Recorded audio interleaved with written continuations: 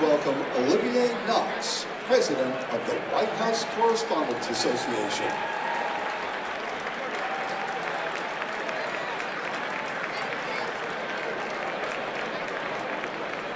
Ladies and gentlemen, please stand for the presentation of the colors.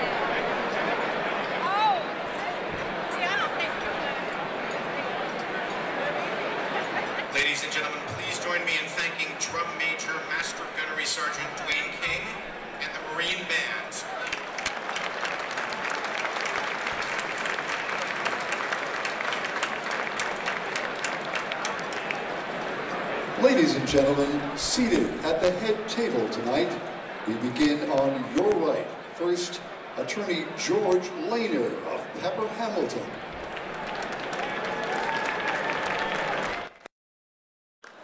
Anita Kumar of Politico.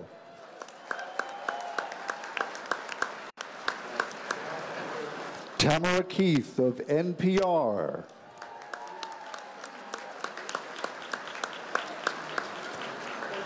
Francesca Chambers of DailyMail.com. Todd Gillman of the Dallas Morning News. Jonathan Karl of ABC News.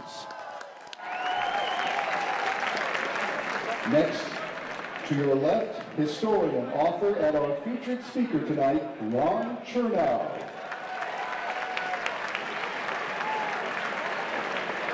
Megan Lieberman of Sirius XM. Zeke Miller of the Associated Press. Alicia Jennings of NBC News. And Doug Mills of the New York Times.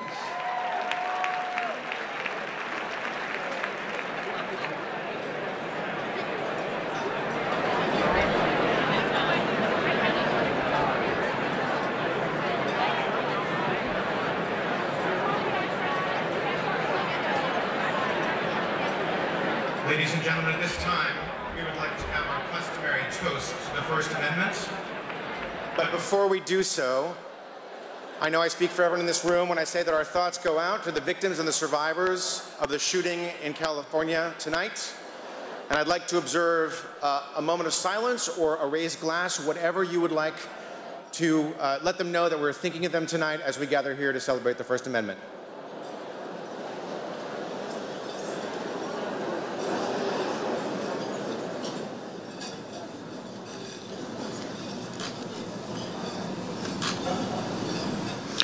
Thank you for that. Uh, at this time, you have uh, First Amendment pins next to you, magnetic, so they're not going to damage your lovely finery. Please put on your First Amendment pins, or don't. That's the beauty of the First Amendment. I'm going to ask that you keep careful track of your Austin Tice pins. That's going to be important later in the dinner program. In the meantime, thank you very much. Bon appétit.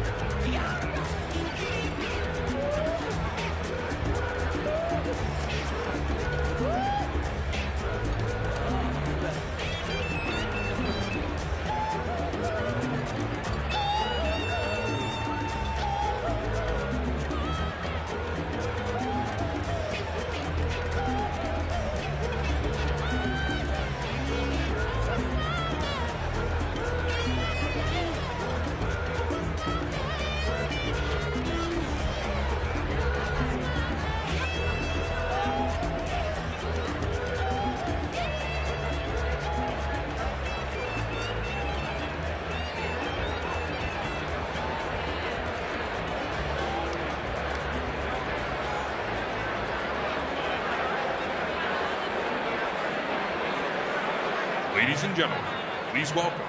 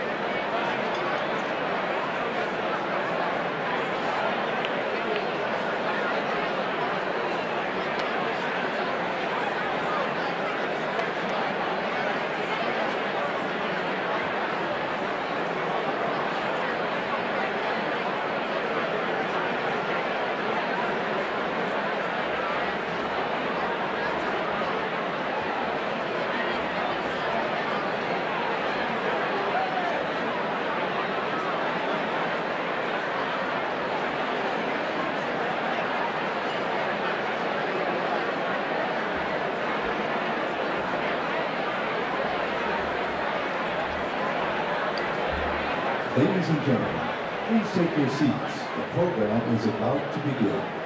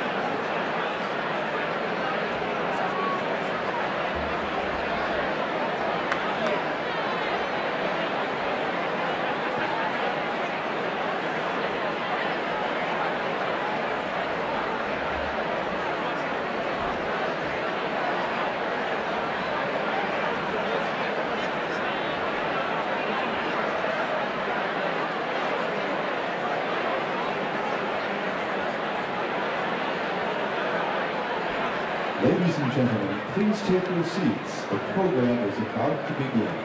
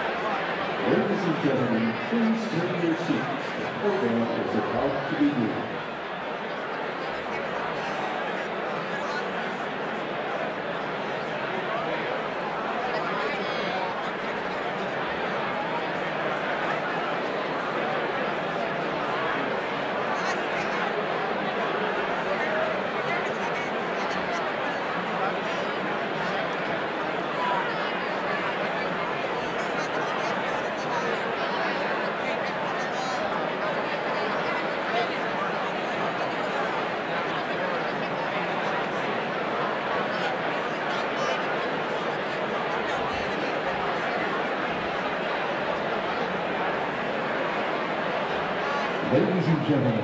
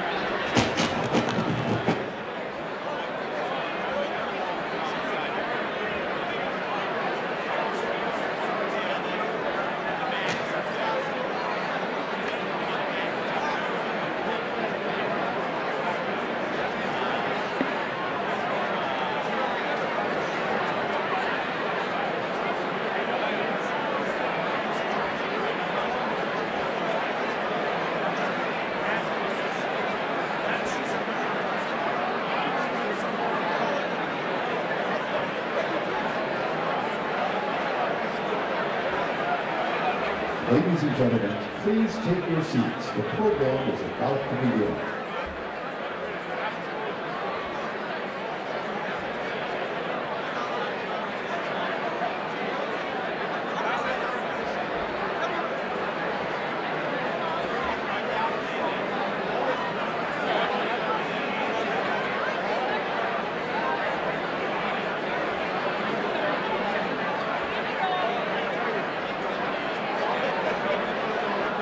Ladies and gentlemen, once again, please welcome Olivier Knox.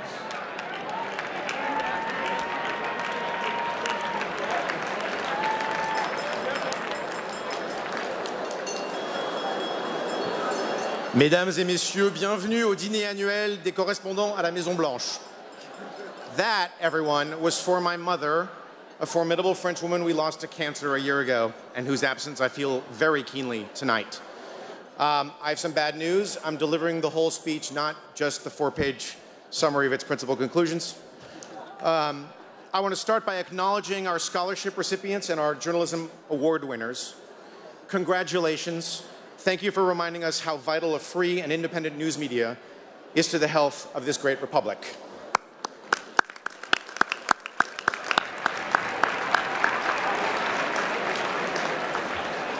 One thing that this position teaches you is gratitude, and so I have a lot of thank yous. Please bear with me. Thank you first and foremost to my family and to dear friends from near and far who came here tonight. Thank you to all the members of the White House Correspondents Association. Thank you to our guests, Democrats, Republicans, independents, foreign diplomats, men and women who serve this country in uniform, united here in support of the First Amendment. Which reminds me, which reminds me, in the rush, in the rush to an ad-libbed punchline, I overlooked a piece of business. Ladies and gentlemen, to the First Amendment.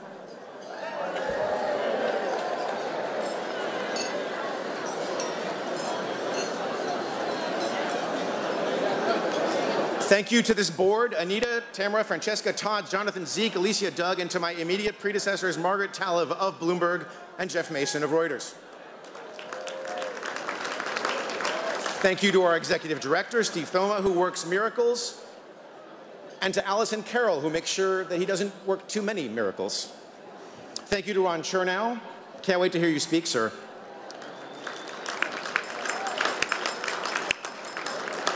Thank you to Megan Lieberman and the entire team at SiriusXM for your support and your patience and the professional opportunities you've given me.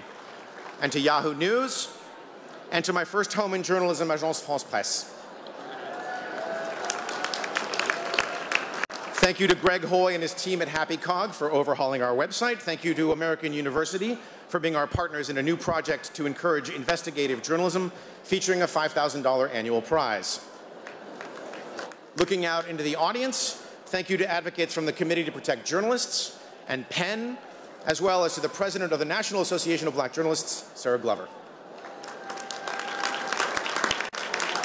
This is a big one. Thank you, thank you, thank you, thank you to the staff here at the Washington Hilton. Your professionalism and your warmth, your attention to detail have always made this a special event. And a very special thank you to someone whose counsel has always steered us in the right direction, but whose particular talents got an unusually robust workout this year, our lawyer, George Lehner.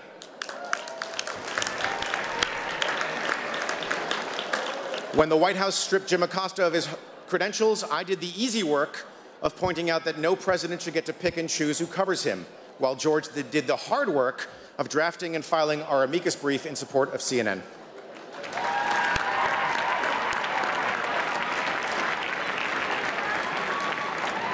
And that gets us, in an admittedly roundabout way, to this president. Uh, I don't want to dwell on the president. This is not his dinner, it is ours. And it should stay ours. But I do want to say this. In nearly 23 years as a reporter, I've been physically assaulted by Republicans and Democrats, spat on, shoved, had crap thrown at me. I've been told by senior administration officials of both major parties that I will never work in Washington again. And there was a brief moment in Afghanistan when I thought a soldier not quite old enough to shave would shoot me dead for the crime of taking a picture inside the presidential palace. And yet, I still separate my career into the period before February of 2017 and what came afterwards. And that's because February 2017 is when the President of the United States called us the enemies of the people. A few days later, I was driving my then 11 year old son somewhere, probably soccer practice, when he burst into tears and asked me, Is Donald Trump going to put you in prison? At the end of a family trip to Mexico, he mused that if the president tried to keep me out of the country, quote, at least Uncle Josh is a good lawyer and he'll get you home. hey, Uncle Josh. Uh, I've had to tell my family not to touch packages on our stoop. My name is on a statement criticizing the president for celebrating a congressman's criminal assault on a reporter. I've had death threats, including one this week. Too many of us have. It shouldn't need to be said in a room full of people who understand the power of words, but fake news and enemies of the people are not pet names, punchlines, or presidential.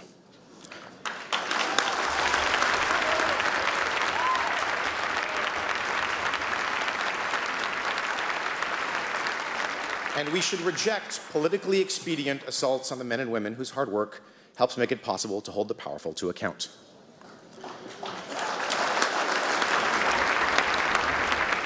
That said, we can't lose track of attacks on the free press in a global context. Uh, so remember earlier I said that um, the Austin Tice pins would become important later? Please turn your attention to these pins. They were provided by Reporters Without Borders. Thank you to RSF.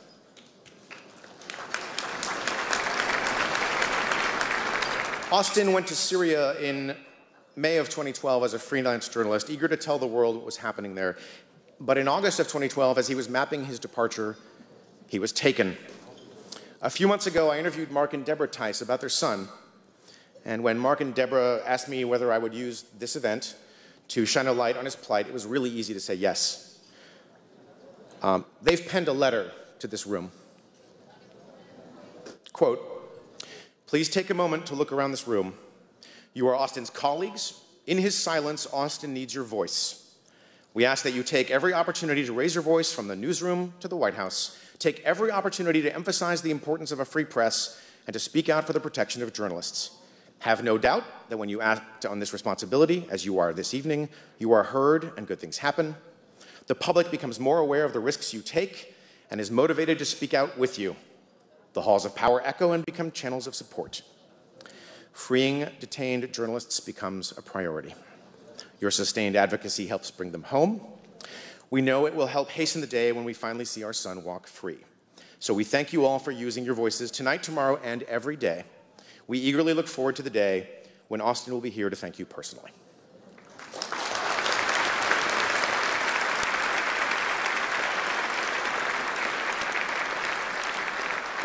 So here's what I would ask you to do. Uh, take your Austin Tice pin, think of him, and then pick another journalist anywhere in the world who's been targeted with violence, beaten, wrongfully imprisoned, retaliated against in some way. Pick anyone. I'm thinking of Austin and two Reuters reporters, Wa and Kyaw Soe Oo, imprisoned in Myanmar after they uncovered a massacre. But unfortunately, the list is long and getting longer. Names like Marie Colvin, Jamal Khashoggi, Chris Hondros, Lyra McKee, Fezi Shah Marai, our colleagues at the Capital Gazette. Uh, when you've picked a name to go with Austin's, please raise your pin. If you want to raise a glass too, that's fine. Personal preference, I think it's weird to honor journalists with a moment of silence. So I'm thinking of Austin, thinking of Kyaw Soe Oo and Wa Lone, and um, to all the journalists around the world who are suffering for their craft.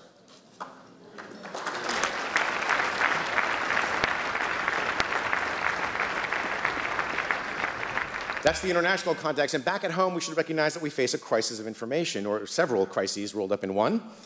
Our privacy is constantly in danger, and powerful corporate interests vacuum up our habits and slice and dice them to extract maximum profit. Broad swaths of the public mistrust the news media, making it difficult to make decisions from a place of differing ideologies but shared facts. Now, skepticism of any powerful institution, including ours, is absolutely necessary. I am forever mindful of the wisdom from the great Mark Knoller of CBS Radio.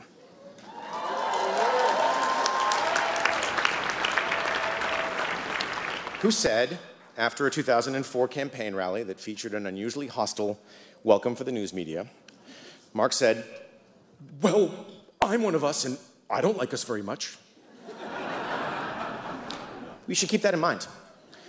We should also keep in mind that a rejection born of reflex but not reflection is dangerous. What's also dangerous is the incredible erosion of local and regional reporting. Uh, and that's why I'm pleased.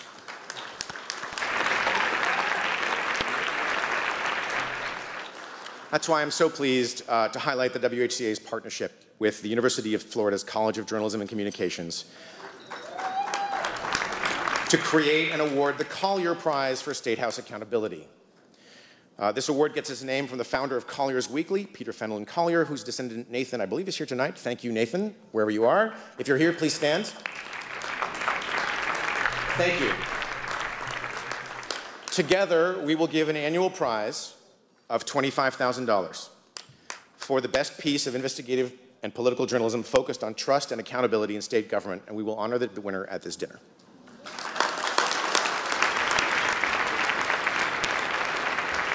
Con considering the magnitude of the problem, this is not a solution, but I hope it's a call to arms. Uh, unless you think your governor or your state legislature or your mayor or your school board or the largest employer in your county are and forever will be above reproach and even scrutiny, you should support local and regional journalism.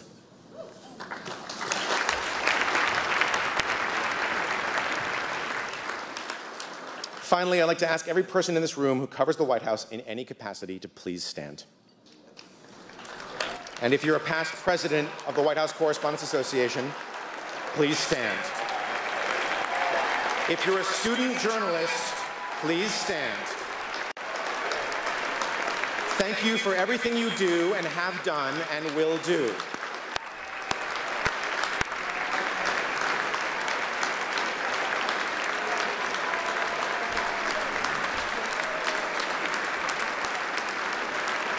Thank you. Finally, I know some of you think I went too far in the past eight months or so, and some of you think I've not gone far enough. To those of you who've worked to hold me accountable with candid advice or thoughtful criticism, thank you, really, thank you. Um, and to all those of you watching here or on television, thank you as well. Please enjoy the rest of your evening.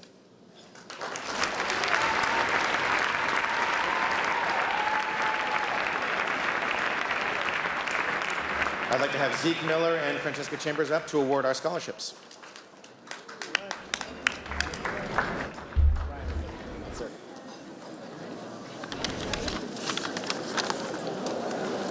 Right? Yep. Good evening.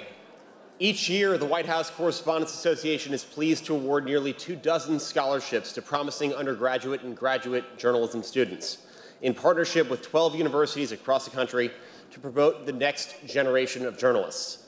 Please welcome our 2019 scholarship winners.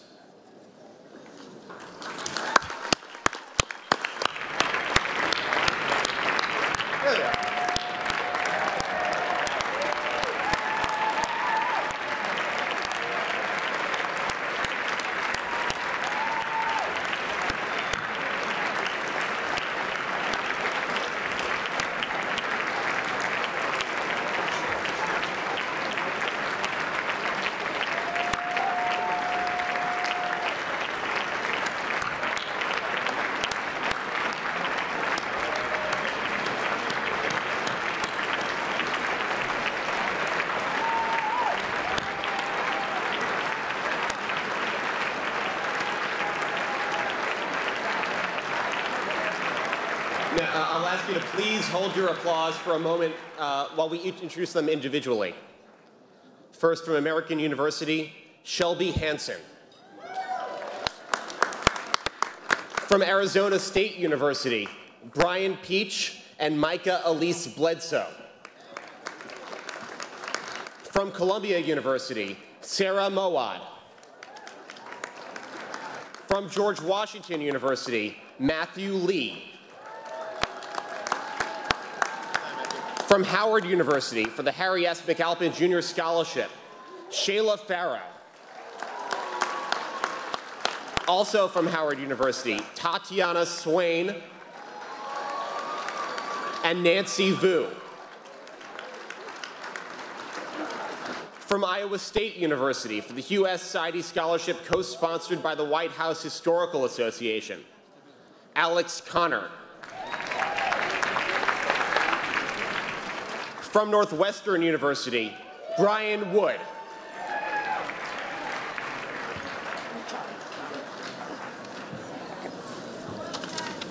Also from Northwestern University for the Deborah Orin Scholarship, Jessica Ashley Floyd. Beverly Banks. From Ohio University, Abby Marshall. Winter Wilson. Maggie Campbell. From the University of California, Berkeley, Katie Roosh. From the University of Maryland, Veronica Canales.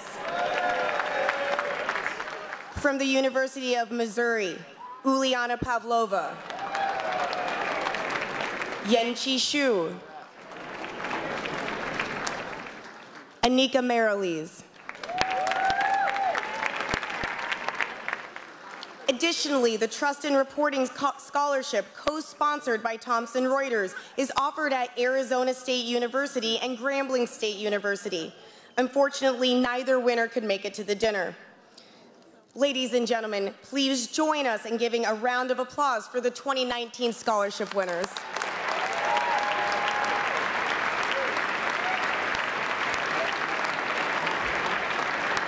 Awesome. All right, we've got some journalism awards here. Uh, first of all, these are uniquely challenging times for journalism for many reasons.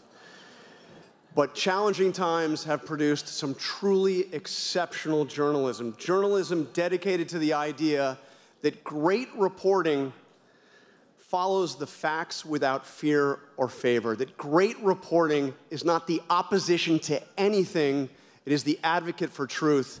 It is the opposition only to any act that would distort or deny or destroy the truth. So, with that in mind, we have our Journalism Awards. Each year, a panel of judges, coordinated by Ellen Shearer of the great Medill School of Journalism,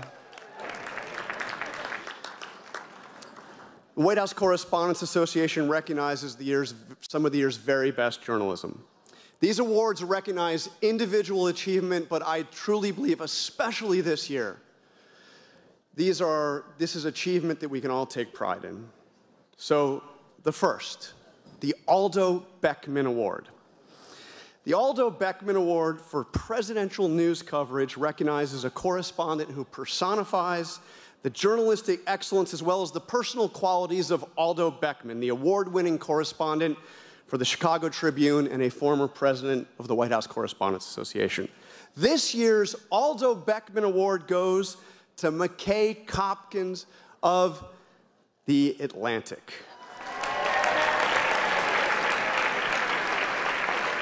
So, McKay, I want to read a little bit from the judges.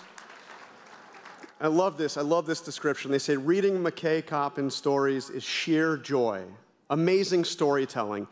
His profiles of key players in the Trump administration, the judges write, were impossible to put down, sewing together a lot of detail to create complex portraits that increased our understanding of the current administration. So, McKay. Congratulations.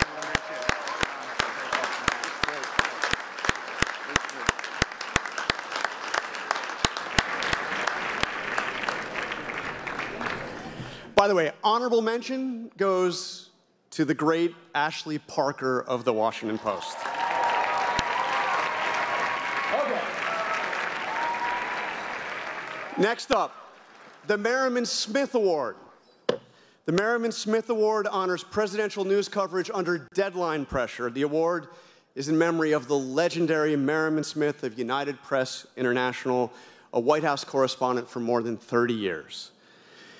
The award was conceived to perpetuate Mr. Smith's memory and to promote excellence that he brought to the profession. It is given in two categories broadcast and print. Now, the Merriman Smith Award for print goes to someone whose tireless commitment to great reporting has been recognized so many times that I think he deserves a permanent spot on this stage. The Merriman Smith Award for Print goes to Josh Dawsey of the Washington Post. Again.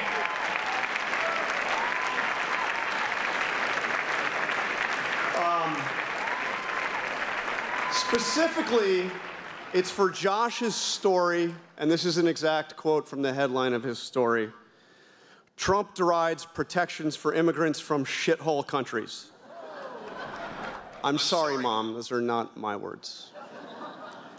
From the judges, Josh Dawsey relied on multiple sources for his exclusive report on the language used by President Trump in a meeting on immigration with members of the Senate. Dawsey worked on deadline but added context and detail as he worked the story. His entry epitomizes the criteria for the award speed, accuracy, objectivity, and initiative. So the Merriman Smith Award, the great Josh Dawsey.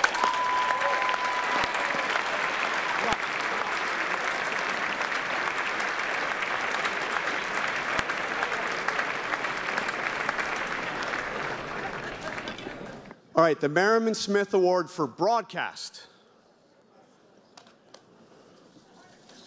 goes to Ed Henry of Fox News. And the award is for an interview that we all that we all remember. Ed, simmer down. This is big.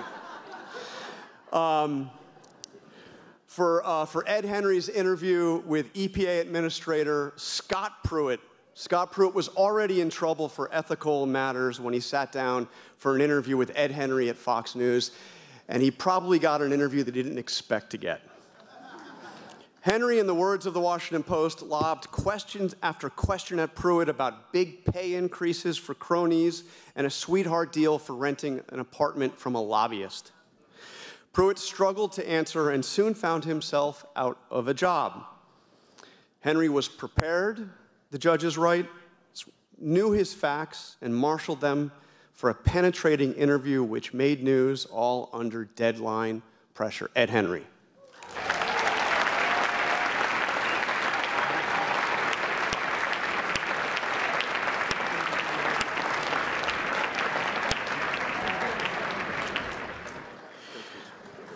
Honorable mention for the Merriman Smith Award for broadcast goes to CNN for its coverage of the confirmation vote of Brett Kavanaugh. And finally, one more.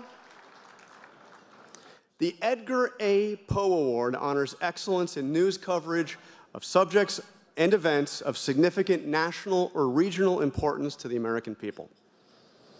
It is in honor of Edgar A. Poe, not that one, another one. a longtime correspondent for the New Orleans Times Picayune and former White House Correspondents Association president.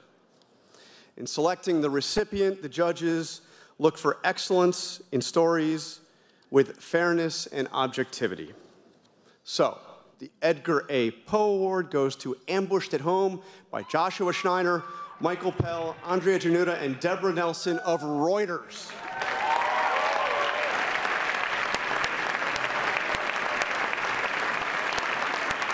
The, the judges, the judges write, the Pentagon hoped to improve base housing through privatization, but after 20 years, Reuters ambushed at home found military families in, quote, slum like squalor with high levels of vermin, mold, leaking ceilings, and foul water.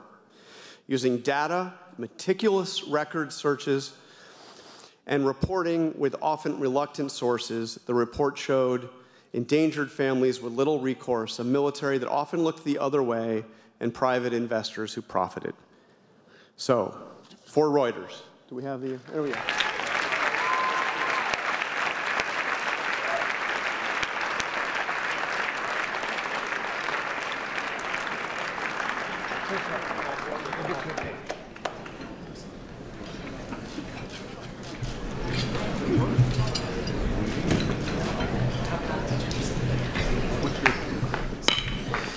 And one last honorable mention For the Edgar A. Poe, Edgar A. Poe Award goes to Hidden Cost by the Weather Channel and Telemundo. Thank you all, and thank you to our judges, and congratulations to the winners.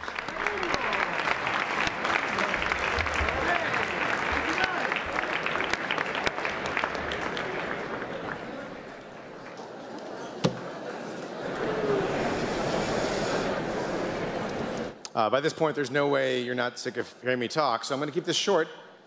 Um, when I ran for this position in 2016, I told one and all that I felt it was time that we reset this dinner and put the focus a little more squarely on, on journalism and a little more squarely on the First Amendment and a little more on the people, the men and women who help to hold the most powerful political institution in American life to account. Um, I've tried to keep that promise, and as part of that, I've invited someone um, who doesn't need much of an introduction. I will simply say that I learned in the process uh, of doing this that um, he's been featured three times in the New York Times crossword puzzle and once on Jeopardy. that I didn't know. Uh, his latest book, Grant on the 18th President, was published. That's got to be Kennedy. Um, uh, was published in 2017 and spent four months on the bestseller list. The New York Times named it one of the 10 best books of the year. Um, the Lincoln Journal Star of Nebraska said the book, quote, cements Chernow's reputation as America's preeminent historic biography. Um, you, of course, know about that other little book that got a little bit of attention called Hamilton, maybe? Um, I asked Ron to put the current moment in historical context, didn't tell him what to say, told him roughly how long he had to say it. Uh, please join me in welcoming Ron Chernow.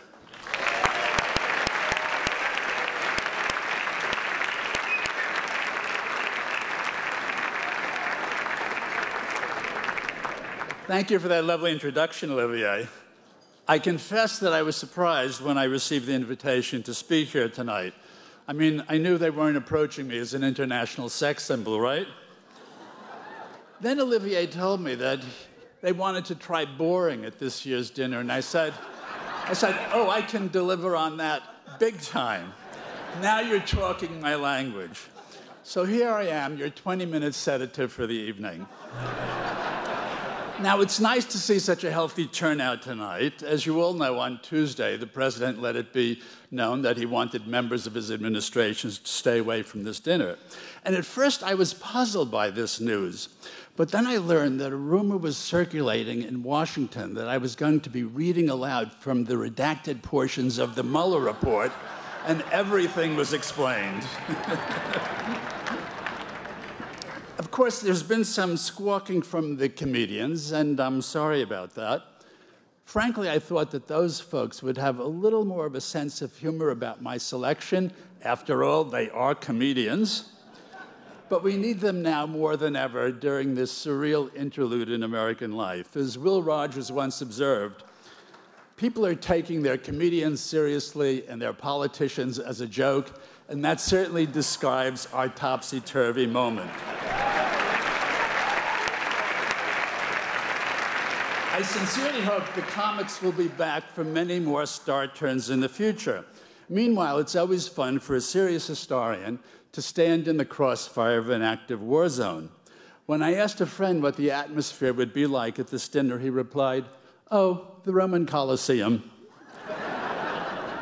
Now, being a dutiful historian, I thought I should research my audience, so I picked up a copy of Henrik Ibsen's great play, Enemy of the People. I hadn't realized before that the president was a student of Norwegian literature. Did you know that?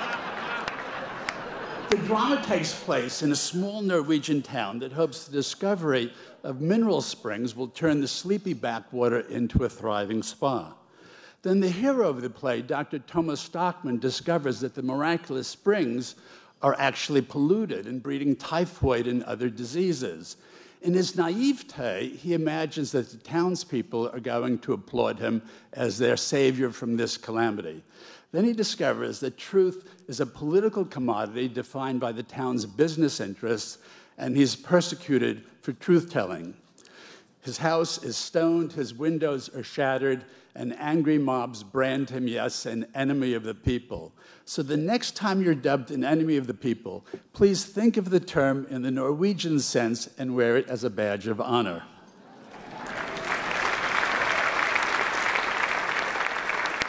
Now, I'm delighted to make a spirited case tonight for the First Amendment.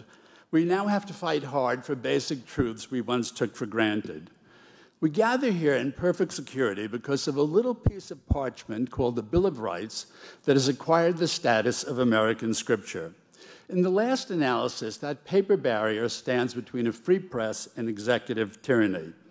Its author, James Madison, was a tiny, often sickly man who probably would not have gotten past the bouncers in this ballroom, and whose low voice would scarcely have projected from this podium.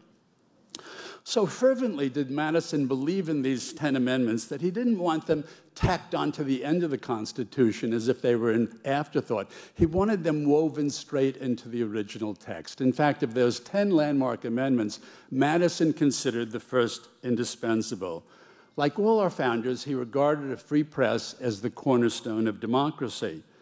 As Jefferson famously said, if forced to choose between a government without newspapers or newspapers without a government, he would unhesitatingly prefer the latter. Good for Jefferson.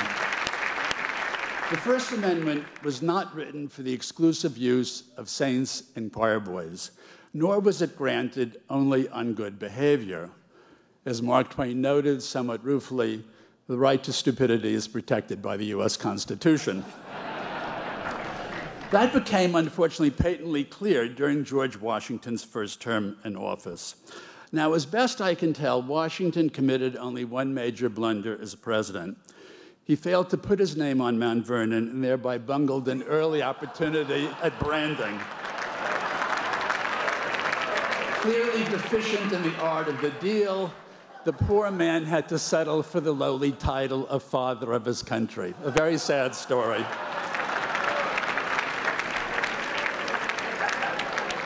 The press of the early republic was as ferociously partisan as anything we see today.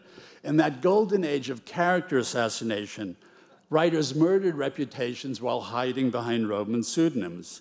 Washington became the victim of the most preposterous slander when the opposition press charged that he'd been a secret British agent throughout the Revolutionary War. Obviously, the British had gotten a very poor return on their investment. Now, some of the most blistering attacks against Washington came from an unexpected source.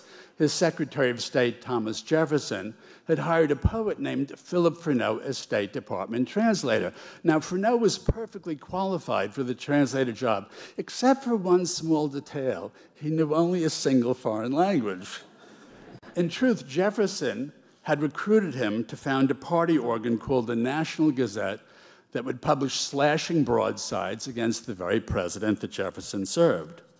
Freneau performed his task with such malicious gusto that he used to drop off copies of his incendiary paper on Washington's doorstep every day. Now, it's hard to convey the anguish that seized Washington's mind as he reeled from press criticism. One day, Freneau printed a cartoon showing Washington being beheaded a la Louis XVI. This was the period of the French Revolution. In his diary, Jefferson recorded Washington's towering rage. The president was much inflamed, got into one of those passions when he cannot command himself, and said that rascal Freneau sent him three of his papers every day as if he thought he would become the distributor of them. A very 18th century form of chutzpah, eh? But despite this extreme provocation, Washington always honored the First Amendment, saying such evils, quote, must be placed in opposition to the infinite benefits resulting from a free press. Like every future president, Washington felt maligned and misunderstood by the press, but he never generalized that into a vendetta against the institution. In fact, when he when he wrote his farewell address, you know, he never delivered it in person. He had it printed in the newspapers so that readers could digest it and consider it. My main theme here tonight is that relations between presidents and the press are inevitably tough, almost always adversarial, but they don't need to be steeped in venom.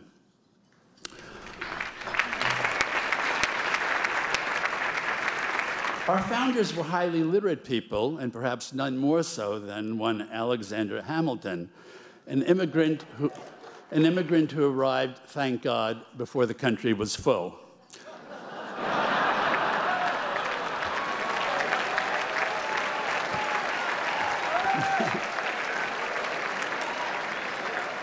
I frankly, I don't know why they let the guy in. Clearly, somebody had slipped up at the southern border now, Hamilton was a human word machine.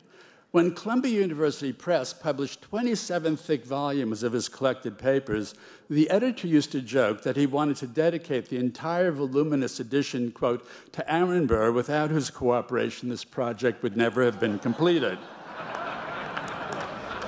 Hamilton had a flourishing career as a journalist as well as government official, founding the New York Post long before its page six incarnation. Now, when writing the Federalist Papers, Hamilton cranked out as many as five or six essays per week, and this, mind you, with a full time legal practice. He was writing the Federalist Papers as a sideline. He would be scribbling the final sentences of an essay as the printer waited in his outer office, ready to rush the latest installment into print. After leaving as first Treasury Secretary, Hamilton took to the newspapers to defend a major treaty with England. He wrote one set of essays under the pen name Camillus. Then he launched a parallel series under the pen name Philo-Camillus. Now, Philo-Camillus heaped extravagant praise upon Camillus. and both Camillus and Philo-Camillus, for some reason, were both rapturous in their mutual admiration for the former Treasury Secretary, one Alexander Hamilton. During the administration of John Adams, the country lurched into a period of reaction amid a war scare with France and rapid, rampant fear of foreigners. Congress enacted the infamous Alien and Sedition Acts, which made it a crime for journalists to write about the president in a scandalous or malicious fashion. At this dark moment, Jefferson, with his serene faith in the people, prophesied, quote, with a little patience, we shall see the reign of witches past, their spells dissolve. Let it be noted that because of his anti press record, John Adams not only lost his reelection campaign in 1800, but his Jeffersonian opponents reigned supreme for the next quarter century. Campaigns against the press don't get your face carved into the rocks of Mount Rushmore, for when you chip away at the press, you chip away at our democracy.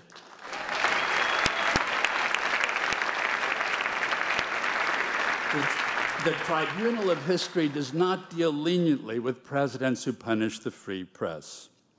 You know, people now say that we're fighting for the soul of America. But, folks, we've always been fighting for the soul of America. We've always fallen short of the hallowed ideals enshrined in our founding documents. America has always been a work in progress, a perpetual journey, a freedom ride with no final destination. And it falls to each new generation to renew and rediscover our country's lofty promise. Dr. Martin Luther King Jr. said memorably that the moral arc of the universe bends towards justice, but it never does so in a smooth or unbroken line. Our precious republic feels fragile, even perishable at the moment, and after the shooting at the synagogue near San Diego today, our civil society feels fragile as, as well. I shudder, shudder at the sheer savagery to which Washington politics has descended. But we've also seen the wisdom of our Constitution at work with a boldly assertive press, an independent judiciary, and a rejuvenated Congress providing checks on executive power. We're being tested, fiercely tested, but I like to think that decency will prevail. History shows that in the short run, the American people can be swept up in all sorts of misguided and wrong-headed things. Think Scottsboro boys, think Japanese internment camps, think Joe McCarthy, but in the long run, democracy endures.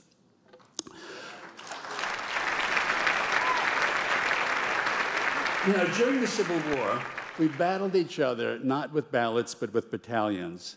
We slaughtered 750,000 of our fellow citizens, maiming millions more amputees hobbled through every American town.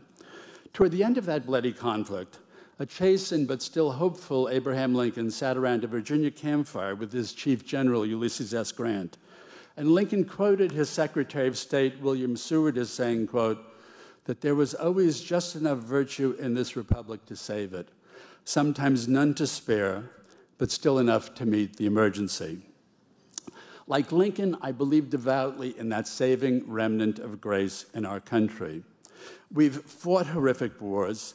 weathered massive depressions, and ended the unspeakable cruelty of slavery and Jim Crow. America has always been at its greatest, not when it boasted, not when it blustered, but when it admitted its mistakes and sought to overcome them.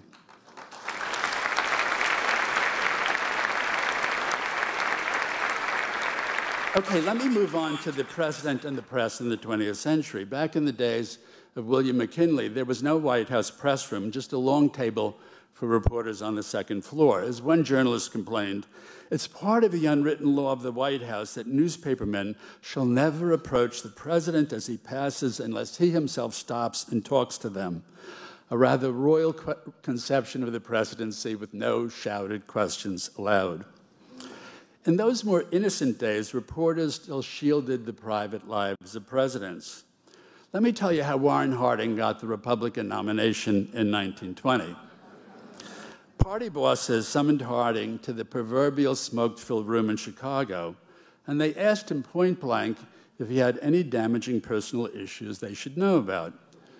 Now, Harding, a married man, drank heavily and gambled freely He'd had a 15 year affair with his best friend's wife, and he had a mistress and an illegitimate baby right there in Chicago. In fact, his young mistress sat in the balcony of the convention hall enjoying the speeches. But Harding assured the party bosses that he couldn't think of a single personal problem to worry about. and he got it. Of course, the press would grow bigger and more intrusive as the century progressed and relations with the White House would grow ever more acrimonious. Even though it may seem wistful and naive and a touch quixotic, I would like to keep alive tonight the fading memory of more civilized dealings between chief executives and the news media. Call it a museum of presidential decorum. At this confrontational moment in American politics, we must recall that civility has been an essential lubricant in our democratic culture and that our best presidents have handled the press with wit, grace, charm, candor, and even humor. After McKinley's wooden formality, Teddy Roosevelt, of course, proved a virtuoso in dealing with the press. The prolific author of 45 volumes, TR devoured a book a day in the White House and seemed to retain all of them. One novelist who brought a new book to dinner at the White House was amazed that the president had read it by breakfast the next morning. Such a literate president enjoyed a natural affinity with the press corps. TR devised a midday ritual called the Barber's Hour, in which reporters would cluster around him as he was being shaved. The babbling president would spout a never ending stream of opinion, while his poor barber, bobbing and weaving with his razor, gamely tried to shave TR without slitting the presidential throat.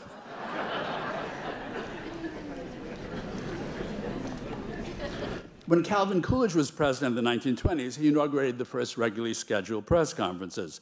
Reporters had to file their questions in advance, and Silent Cal sat stiffly behind his desk, working his way through a tidy stack of index cards. Small wonder that Dorothy Parker, when informed of Coolidge's death, retorted, How do they know?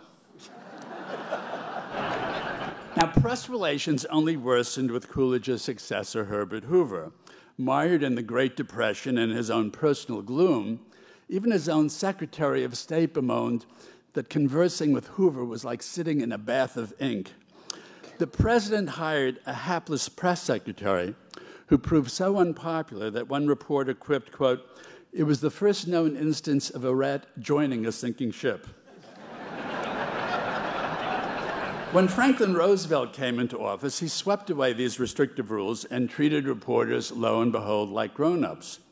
We're not going to have any more written questions, the genial president declared at his first press conference. Of course, while I cannot answer 75 or 100 questions, I see no reason why I should not talk to you, ladies and gentlemen, off the record. Please note the ladies and gentlemen. The 125 reporters packed into the Oval Office that day were so impressed by FDR's clear, straightforward rules that they gave him a standing ovation at the end, the first and undoubtedly last time that would ever happen. In the end, FDR conducted nearly a thousand press conferences, not to mention 30 fireside chats. And even Eleanor Roosevelt held her own press conferences where she invited only female reporters. This, right on. This proved a tremendous boon to women journalists across the country because even the most hidebound publishers realized they were now forced to hire women journalists.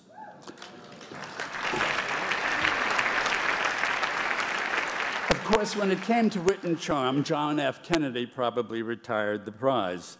His memory reminds us how far a little self deprecating humor can go. Remember modesty? When a small boy asked Kennedy how he became a war hero, Kennedy replied, It was absolutely involuntary. They sank my boat. In 1958, then Senator Kennedy was being touted as a presidential hopeful but he was shadowed by scurrilous rumors that his rich father would buy the race. So at the Gridiron Club dinner, JFK drew a slip of paper from his pocket and proudly announced that he had a telegram from his generous daddy. He read aloud Dear Jack, don't buy a single vote more than is necessary. I'll be damned if I'm going to pay for a landslide. The press was enthralled. When JFK, as president, held his first televised press conference in January 1961, 60 million captivated viewers were glued to their TV sets, a record only eclipsed by the 70 million who watched the Beatles' debut on The Ed Sullivan Show three years later in 1964. I have often wondered what the Beatles' poll numbers would have looked like in Iowa and New Hampshire in that presidential year. Now, Ronald Reagan was a no less sunny personality and a past master, of course, of media relations. When he became president, he said, I think that most of the time, the overwhelming majority of reporters do a fine job. And as a former reporter, I know just how tough their job can be. Nevertheless, Reagan had a sometimes bumpy relationship with the press.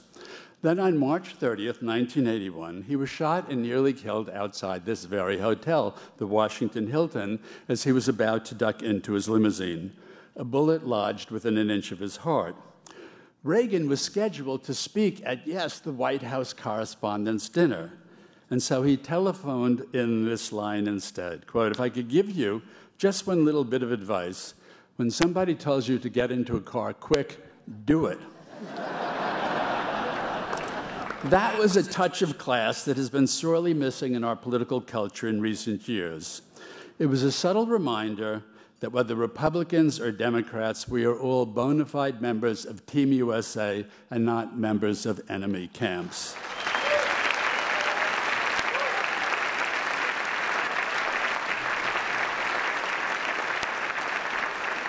Okay, I know I'm wallowing in nostalgia here and ignoring less savory moments of these and other presidents.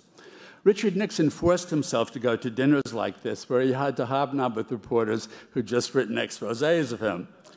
In the spring of 1971, Nixon followed the advice of Press Secretary Ron Ziegler and decided to play the good sport at the White House Correspondents' Dinner. His gesture evidently did not impress the news media. After his next press conference, Nixon grumbled privately, quote, the reporters were considerably more bad mannered and vicious than usual. This bears out my theory that treating them with considerably more contempt is a more productive policy. when Nixon then hosted a party for POW families and felt bathed in female adoration, he thought his masculine appeal insufficiently acknowledged in the subsequent press coverage coverage. That's what the goddamn New York Times and Washington Post should be writing about, he groused. I'm going to kick their asses around the block. Such presidential eloquence, shall we ever hear its like again? Don't answer. Of course, the one who ended up getting his ass kicked around the block was you know who. Now, you folks in the media write the early drafts of history, and we historians the later ones. Your work gives freshener and color and immediacy to our sagas. I know how embattled you feel at this critical juncture as you combat the mistrust of a significant portion of the American electorate. I think you're doing noble work to preserve democracy at a time when a rising tide of misinformation, masquerading as news, threatens to make a mockery of the First Amendment.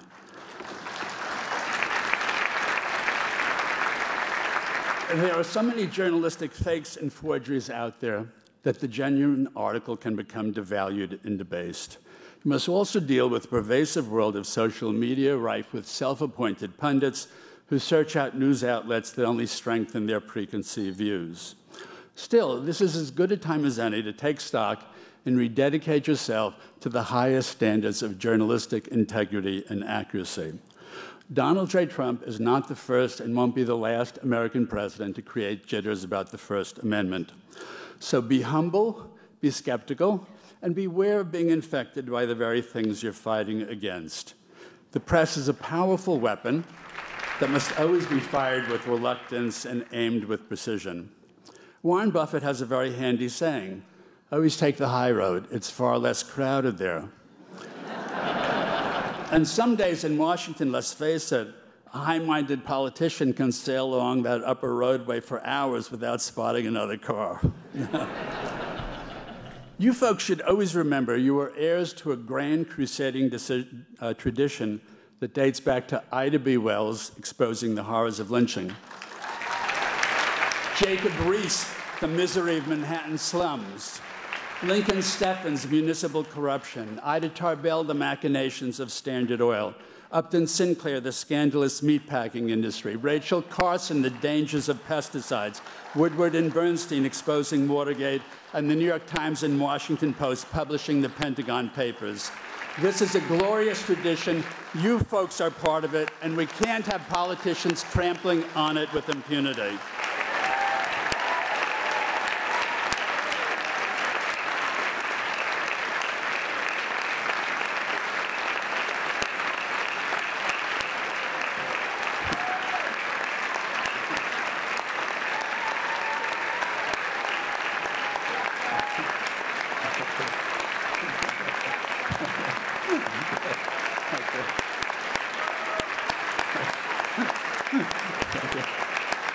sorry to report I'm not finished. H.L. Mencken once warned of a political system that would, quote, keep the populace alarmed by menacing it with an endless series of hobgoblins, all of them imaginary. We simply cannot allow the press to become an imaginary hobgoblin exploited for political gain. The thing that troubles me most at the moment is the sustained assault on truth, or at least a cavalier disregard of it, both here and by autocratic regimes abroad. As John Adams said, facts are stubborn things and our wishes cannot alter them. Facts are the foot soldiers of our respective professions. They do the hard marching and should wear no ideological coloring. Without the facts, we cannot have agreement in our badly divided nation. More importantly, without the facts, we cannot have an honest disagreement. I applaud any president who aspires to the Nobel Prize for Peace, but we don't want one in the running for the Nobel Prize for Fiction. Ulysses S. Grant wasn't a flawless president, but he was a stickler for the truth. One day in the White House, Grant was busy when a stranger called. Knowing Grant was occupied, an aide informed the usher, Tell the gentleman that the president is out. Overhearing this, Grant grew outraged. No, don't tell him that. Tell him I'm engaged and must be excused. I never lie for myself and do not want anybody to lie for me. That's a powerful example that all presidents should emulate. You know, we've seen past administrations threaten the press directly, whether it be Lincoln shutting down disloyal papers during the Civil War or Woodrow Wilson stifling dissent with the Espionage Act in World War I. But what is happening today is perhaps even more insidious a relentless campaign against the very credibility of the news media. Even the smartest courtroom lawyers can't defend the press against such vague and sweeping attacks. You folks can only preserve that hard won credibility in one way with solid, fair minded, accurate, and energetic reporting.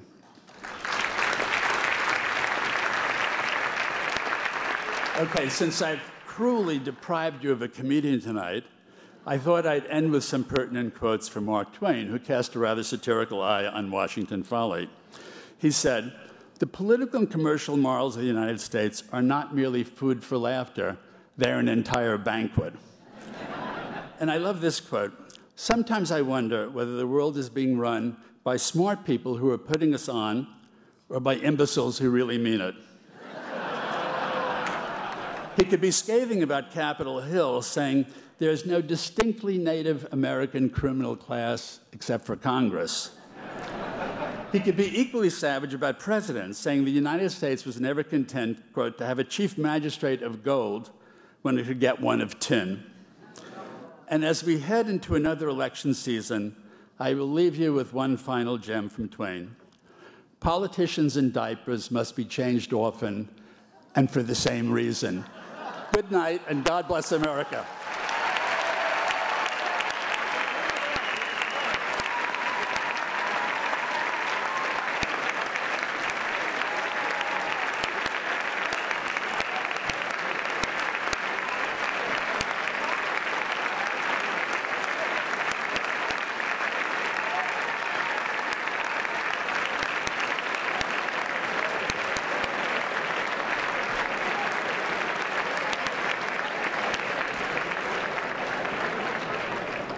That's a slightly awkward segue to my point that Jon Karl is succeeding me. uh, listen, thank you all very much for coming tonight. Um, I hope you wear your Austin Tice pin and First Amendment pin with pride if you chose to wear it again. Um, thank you very much. It's meant the world to me. My term ends only in July, but it's sort of customary to consider the WHCA president kind of a lame duck at this point.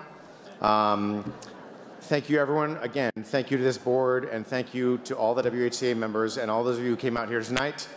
Have a lovely night.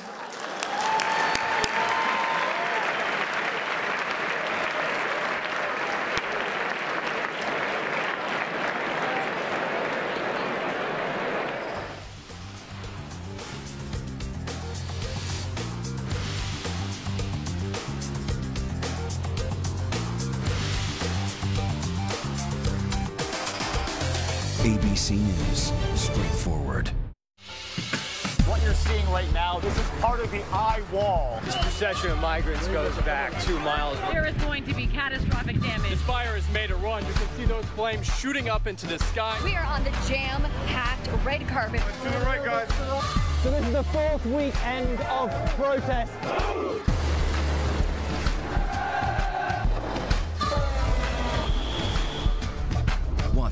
News on location for Facebook Watch every day. Okay, so when the New York Times calls you one of the eight news podcasts worth listening to, well, you just say thank you.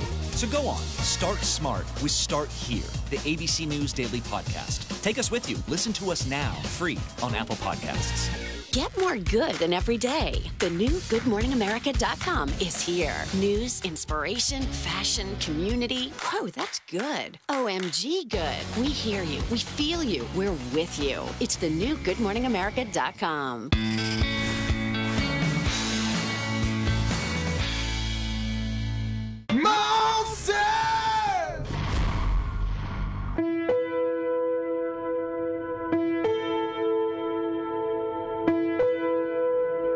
By February 1999, Kerry had been at the